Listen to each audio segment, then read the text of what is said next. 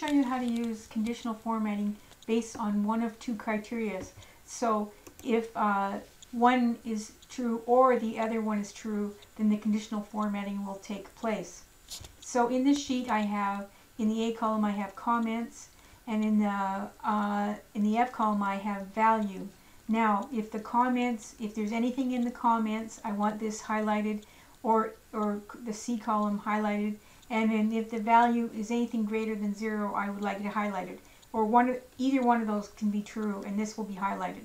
So what I've done is now I've gone to, uh, on the Home tab, I've gone to Conditional Formatting, and I've gone to New Rules,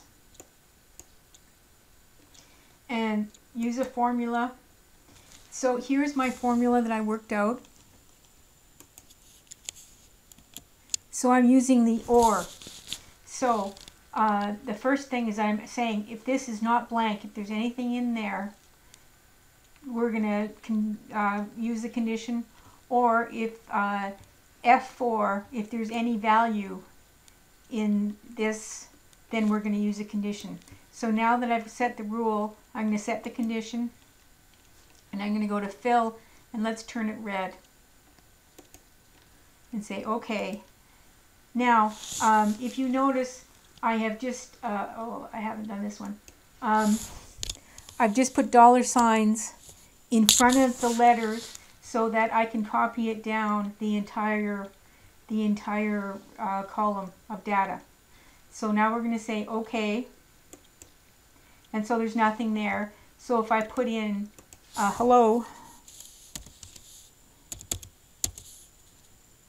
it will turn red. Okay, so now if I delete that,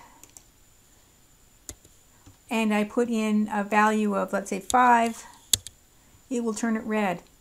So I like this condition. I want to use it for the whole column. So what I'm going to do is I'm going to take my Format Painter and I'm going to drag it down all the way here. And so now if I put um, good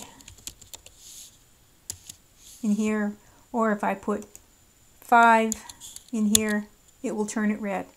So that's how you use conditional formatting based on two criteria. Please subscribe.